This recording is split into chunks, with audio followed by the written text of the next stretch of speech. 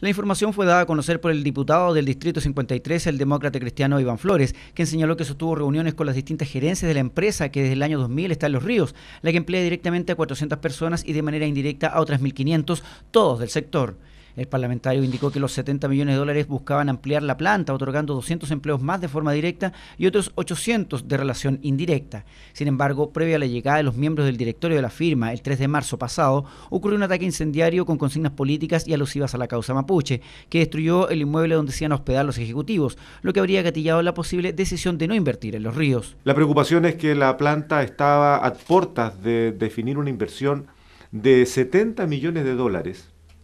o sea, más del doble de lo que ya había invertido en el año 2000 en nuestra región y casi el doble de lo que invirtió en una gran planta en Lautaro. Luego del incendio de hace un par de semanas atrás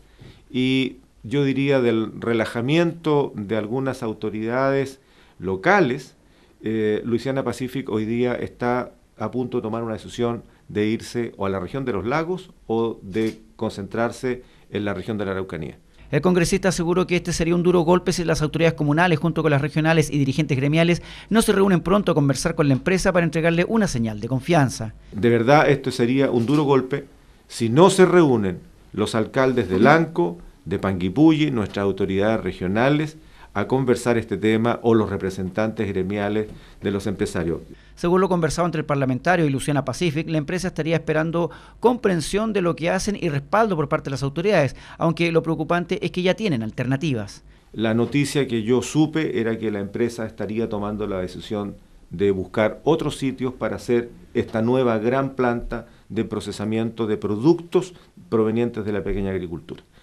Eh, y ya tienen eh, localizaciones en la provincia de Osorno y también en la región de la Araucanía. Recordemos que la empresa tiene capitales mixtos con gerencias en sus distintas plantas, pidiendo a Flores que no tomen ninguna decisión antes de reunirse con las autoridades, considerando que esta inversión busca ser una planta modelo que fortalece la actividad industrial sustentable.